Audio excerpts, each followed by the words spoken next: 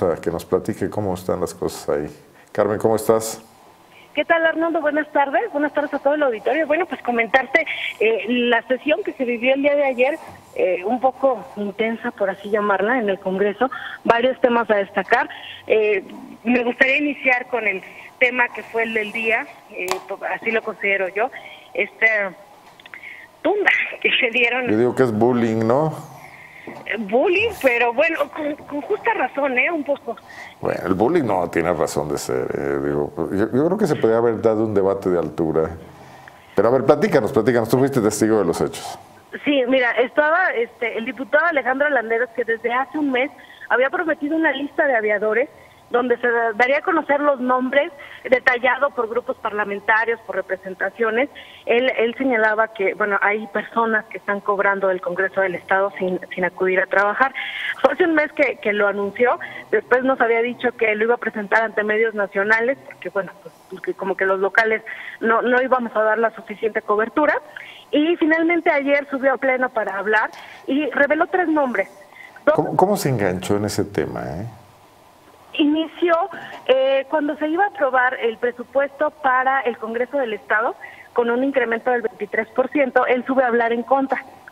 Eh, en contra de este eh, incremento presupuestal para el 2017 y ahí es donde dice que los diputados bueno en el legislativo deben de ser austeros y que incluso bueno él ya tiene ya tiene detectado a varios aviadores entonces ahí hace el anuncio y después 15 días después nosotros le preguntamos que si ya tenía la lista porque él dijo que le iba a dar a conocer este, eh, en ese momento fue cuando mencionó que lo, que lo daría a conocer, pero en medios nacionales, no, no en Guanajuato. Finalmente ayer, asesorado por, por, pues bueno, por el equipo de asesores que tiene, sube en el... O sea que no son muy buenos. Que no son muy buenos, sí, exactamente. Sube a, a tribuna y en el apartado de asuntos generales inicia hablando y dice que Morena sí cumple y que entonces iba a dar a conocer eh, el resultado de la investigación que había hecho él junto con sus con su grupo de asesores que no tenían esa responsabilidad, pero que bueno, por con un compromiso con la ciudadanía, lo, habían hecho esta investigación para dar con los aviadores del Congreso del Estado. Este, también aseguraba que no tenía por qué ser reconvenido por ningún diputado y por ninguna autoridad porque él gozaba del fuero constitucional que le daba la libertad de poder expresarse y de decir lo que lo que él considera, considerara necesario. Entonces, bueno, hasta ahí eh, empezó a, captar como la atención de algunos diputados que ya eran casi las tres y media de la tarde, ya algunos se querían ir, entonces empieza a captar la atención y le empiezan a escuchar pero este lo más interesante fue cuando da a conocer los nombres. Son dos de Movimiento Ciudadano. escucha? Eh, Ricardo Paz Gómez de Movimiento Ciudadano y Estela, Estela, se me fue ahorita su nombre también, eh, que trabaja en el, en, con Movimiento Ciudadano. Y después habla de un, de un joven del Verde, José eh, Luis Alfredo Ríos Navarro, eh, que también es aviador. Entonces, en ese momento, Betty Manrique, la coordinadora de la fracción del Verde, le pide al diputado que le acepte una pregunta. Entonces, el diputado dice que no, como siempre. Él, no acepta preguntas. Entonces Betty Manrique pide la palabra, no no no no se no le acepta la pregunta el diputado, después Elvira Paniagua también interviene y tampoco le acepta la pregunta, pero apenas terminó el diputado de Morena de hacer esta exposición, cuando primero sube Livia Denis García Muñoz Dedo de, la fracción del PAN a recordarle al diputado que están revisando seis iniciativas eh, precisamente para eliminar el foro constitucional en el que él se eh, para hacer esta, este pronunciamiento, ¿no? O, revelar esta lista de los nombres.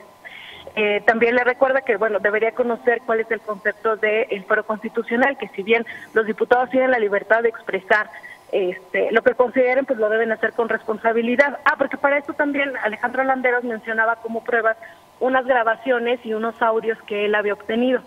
Entonces, cuando le preguntan que si estas grabaciones las obtuvo de la cámara, eh, de las cámaras de seguridad del Congreso, dijo que no, que él tenía su propia cámara de seguridad, que estaba vigilando todo el tiempo quién entraba y quién salía del edificio. Y así él, o sea, Morena puso cámaras de seguridad. Dijo él, ajá, ¿De dónde salió este diputado, eh, Carmen? no sé, no sé, Arnoldo, por eso yo te decía que bullying, pues bueno, este, que, que tiene, que él tenía cámaras y que él estaba vigilando quién entraba y quién salía del edificio. Pero no solamente es una entrada, ¿no? La que tiene, si, si te vas por el estacionamiento subterráneo, te puedes subir por el elevador y llegas hasta el tercer piso, como regularmente lo hacen eh, quienes trabajan para las fracciones y representaciones parlamentarias. Entonces, bueno, él decía que estuvo y que él personalmente preguntó si conocían, por ejemplo, en el caso de Luis Alfredo Ríos Navarra, que si lo conocían y que los mismos eh, trabajadores de la fracción del Verde le dijeron que no, que no sabían quién era. Entonces, bueno, después de que Livia le, recuerda al diputado que el fuero no le da derecho a hablar sin fundamento, este, que tiene que tener una responsabilidad las palabras que exprese y más si está en la tribuna del Congreso del Estado, Después siguió Betty Manrique, que, bueno, eh, ella tiene, mm, se fracturó el pie izquierdo, entonces anda con muletas, pidió el apoyo de uno de sus asesores, llegó hasta tribuna y este, detrás de ella estaba su asesor con, con las muletas y subió nada más para presentarle al diputado, a Luis Alfredo Navarro Ríos, que era el que él mencionaba como uno de los aviadores, que él llegó en el 2013 a trabajar cuando estaba Sergio Contreras Guerrero como coordinador de la fracción. Entonces, desde el 2013 él es asesor, sigue actualmente y también le recordó a la diputada Beatriz Manrique que eh, este mm, Luis Alfredo pues es el asesor que atiende la Comisión de Atención al Migrante, una de las comisiones en las que de las que forma parte Alejandro Landeros. Entonces, bueno, al menos ahí ya le desmintió a uno de los tres nombres que tenía. Los otros dos, que eran de Movimiento Ciudadano, el diputado Eduardo Ramírez Granja se retiró antes, entonces bueno, ya. Ese ya ni le hizo caso. sí, no, sí no llegó a esa parte de la sesión. Él se fue este unas horas antes. Entonces, bueno, ahí ya estaba desmentido. ¿intervino Héctor Jaime, Carmen? Sí, también me intervino. Creo, creo que tenemos su intervención. ¿Quieres que la escuchemos? Me parece perfecto. Sí, para, para que quede claro cuál era el tono que, en que se estaba debatiendo. Tenemos ahí la participación de Héctor Jaime Ramírez, que también fue ayer en esta misma sesión de la que Carmen nos hace la reseña. Además de darme pena, me da vergüenza. Además de pena, como dijo la diputada Beatriz, me da vergüenza. Por dos razones. La primera, porque no sé si alguna vez se ha utilizado un diccionario y usted se refirió al diccionario de la Real Academia Española de la Lengua. Y aquí lo tengo, se lo puedo mostrar con mucho gusto. Le voy a decir que dice de aviador o aviadora. Como adjetivo, dicho de una persona que gobierna un aparato de aviación, especialmente si está provista de licencia para ello. Acepción número dos. Individuo que presta servicio en la aviación militar. Acepción número tres.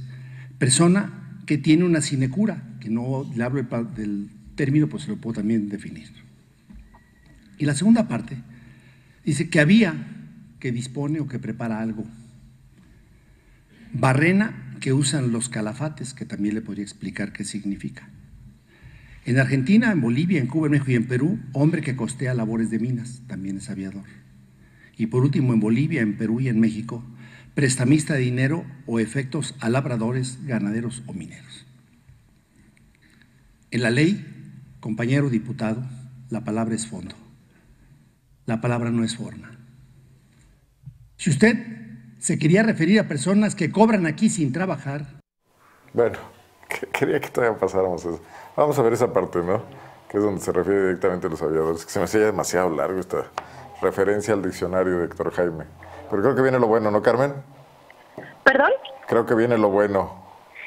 ¿Viene lo bueno en qué sentido, Arnaldo? Cuando se refiere a qué, quiere decir con aviadores. Vamos a escucharlo, ¿eh? Ah, ok. Pedir a personas que cobran aquí sin trabajar es una responsabilidad administrativa. Y lo puedo haber dicho así como aviador y no llegar a tratar de conducirse con conocimientos básicos de aritmética, de gramática y de política que no dispone en este momento.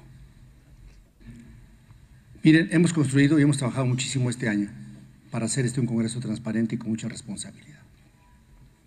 Y si usted piensa que el fuero le da para acusar a personas con nombre y con apellido y ahorita que aquí se lo presentaron y estaba en su comisión y ni siquiera lo conoce, me parece una vergüenza y una pena.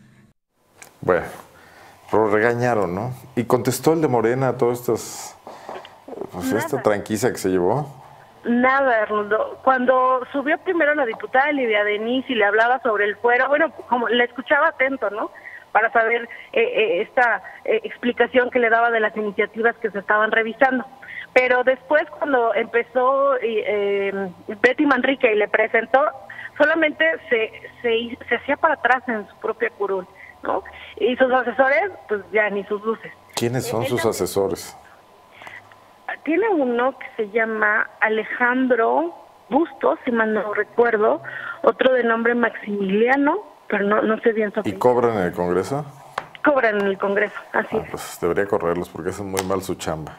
¿Pasó algo más trascendente aparte de esta cuestión divertida? Sí, bastante divertida. Bueno, te, te, puedo comentar que de mi tiempo cubriendo en el Congreso, este, esto ha sido, pero Mm, no se compara ni con las presentaciones de Guillermo Romo como torero, ¿no? Con su estarma de tiburón.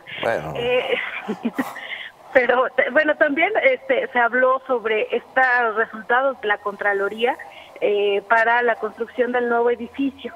Ya lo comentábamos el día de antier, que se da carpetazo, no, no hay ninguna responsabilidad, se archiva el asunto y eh, en este sentido la fracción del PRD, a nombre, bueno, eh, su coordinador, Gerardo Silva Campos, subió a tribuna, después de todo este numerito, sube a tribuna para pedir que la Auditoría Superior del Estado de Guanajuato realice una auditoría integral a la construcción del edificio que eh, está costando alrededor de 774 millones de pesos, eso fue el último corte. Entonces él subía y decía, es que es evidente que hay irregularidades, que hubo irregularidades en la construcción de este edificio y no podemos estar hablando de transparencia y no podemos estar hablando de unas reformas constitucionales para la implementación de un sistema estatal anticorrupción cuando no hay transparencia desde casa. Entonces él pide que sea la SEC la que realice una auditoría integral y él comentaba, por ejemplo, uno de los ejemplos que comentaba como irregularidad es que existen dos contratos por dos millones de pesos para una empresa que iba a ser la responsable de reforestar el, el área por el daño ecológico que causó la construcción y que se iban a plantar cuatro mil árboles, árboles que no están y él decía, es evidente que no existen estos cuatro mil árboles, pero sí existen dos contratos por dos millones de pesos para una empresa, una empresa que tampoco está en el padrón de proveedores. Entonces, eso es solamente un ejemplo de las irregularidades que existen en la construcción de este edificio. Y pidió que sea la Auditoría Superior del Estado de Guanajuato la que realice una auditoría integral. Esta propuesta fue enviada a la Junta de Gobierno y Coordinación Política para que se revise que es ahí donde se tendrá que este, ya perfilar si es que la SEG eh, realiza o no realiza una auditoría integral, pero te, comento, de, te anticipo que este seguramente no pasará porque platicábamos con Héctor Jaime Ramírez Barra, coordinador de la fracción del PAN y presidente de la Junta, y con la diputada coordinadora del Verde, Beatriz Manrique, y ambos aseguraron que ya era un caso cerrado.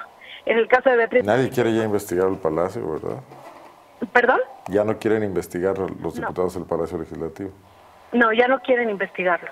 Es lo que decía Beatriz Manrique, que todavía hace unos meses ella se pronunciaba cuando cuando se dan a conocer las la serie de observaciones de la auditoría, de, perdón, de la Junta de Gobierno de la entrega-recepción, eh, todavía ella decía que la CEG hiciera una auditoría. En esta ocasión, cuando la entrevistamos, ella comenta que no, que pasó mucho tiempo, pasaron muchas manos, algunas este, em, contratos ya están prescritos. Eh, eh, entonces, bueno, de las observaciones que se derivaron ya, ya prescribieron, entonces que ya no tenía caso que se hiciera una nueva auditoría integral, ¿no? Y también Héctor Jaime Ramírez Barba aseguró que no estaba conforme con el resultado de la investigación que hizo la Contraloría Interna, pero pues lo que van a hacer es hacer reformas a las leyes para que se... Para que no construyan otro palacio legislativo en el futuro. Dudo mucho que haya, otro como este. Para que haya un sistema estatal anticorrupción que ya pueda este, castigar severamente, ¿no? Y, Todo el mundo quiere que se castigue a los que vienen en el futuro, no a los que están ahora ni en el pasado. Exactamente. Correcto, Carmen. Te agradezco mucho el reporte de lo que pasó ayer en el Congreso.